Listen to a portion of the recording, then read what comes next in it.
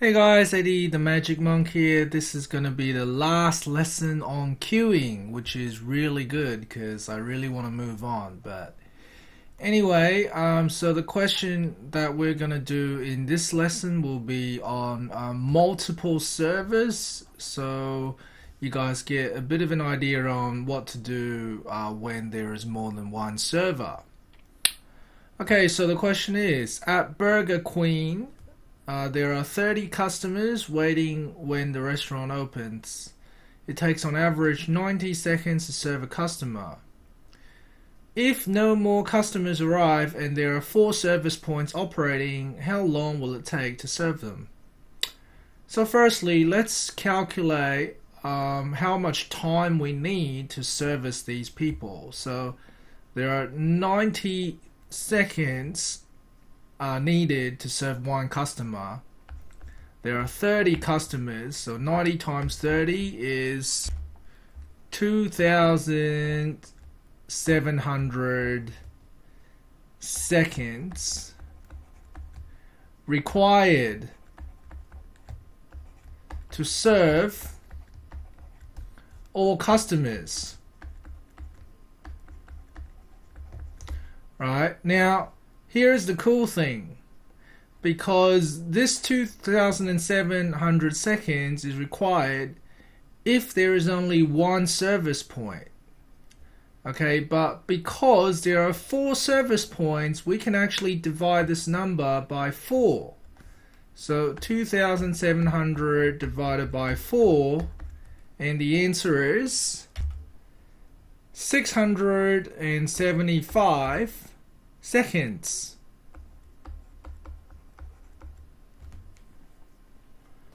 Alright. Now, second question. If the inter-arrival time for customers is 30 seconds, how many servers are needed to prevent the queue from growing? So, um, as we said previously, uh, if the uh, if the service time is smaller than the inter-arrival time, right? If you think about it, if the customer, if the time it takes to serve a customer is smaller, i.e., quicker, than the time it takes between each customer arriving, then queue will not form or grow, right? Because as soon as a customer comes, you finish serving them before the next customer comes. So what that means is the service time right now is um, 90 seconds, right? Because it says 90 seconds here. So 90 seconds uh, is the service time for one service point. Now, we need the service time to be smaller than 30 seconds, right? Because according to this condition, if the service time is 90 seconds, which is a lot bigger than 30, right, then the queue will start, the queue will grow. So if we divide this by 90 seconds divided by 2, which is what the service time will be if we have two service points. So 45 seconds if there are two service points right? When there's one one service point, it's 90 seconds. When there are two service points, it's 45 seconds. When there are three service points, right, three people serving, you would go 90 divided by 3, which will give you 30 seconds, which is the same as the inter-arrival time.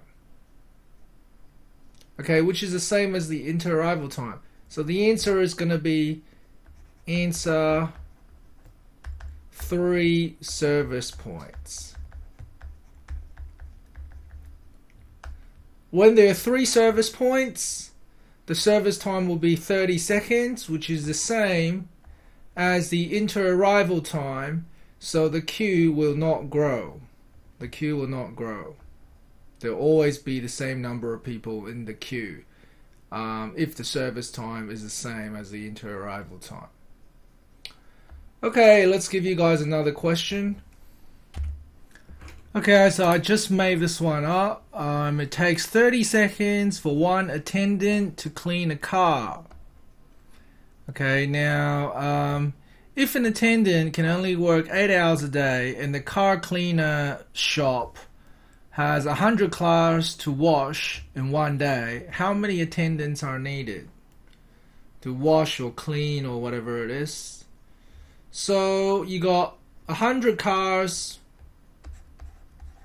it takes 30 minutes to clean each of them, so times 30 would be 3,000 minutes to clean all the cars. Right, 3,000 minutes. So, um, the attendants can only work 8 hours a day.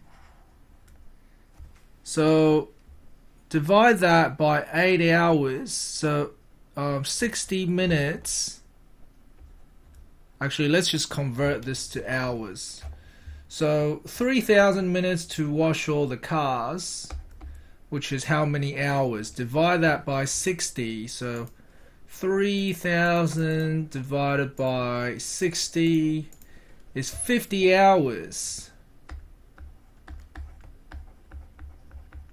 Okay, now because an attendant can only work eight hours a day and you've got 100 cars to wash, now 50 hours is how many it'll take if there was only um, one attendant.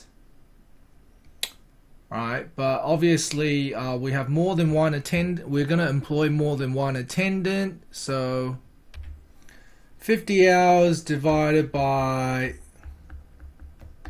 8 is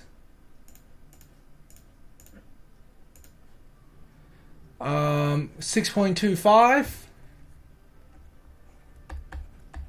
Now you can't employ 0.25 of a person, can you? So you need seven mechanics. Alright, because if you have seven mechanics working, then um, they will have in total so eight hours per person then yeah it'll be enough to clean all these cars okay so thanks for watching guys. Hope you learned something from today's tutorial. See you next time